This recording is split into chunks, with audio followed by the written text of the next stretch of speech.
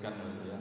Yang pertama yang motivasi jadi bupati tadi, sebetulnya saya di perusahaan, di keluarga saya sudah bisa berbuat baik.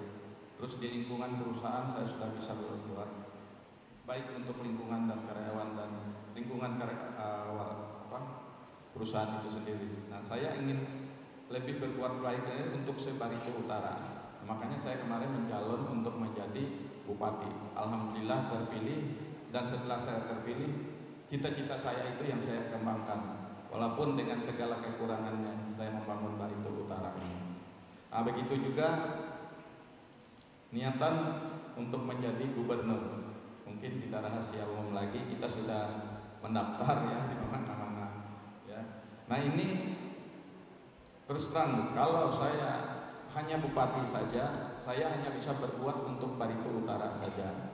Kan tetapi kalau saya ya insya Allah kalau misalnya ada anugerah dari yang kuasa saya akan bisa berbuat baik yang lebih besar lagi untuk Kalteng. Itu aja motivasi saya. Terima kasih. Assalamualaikum warahmatullahi wabarakatuh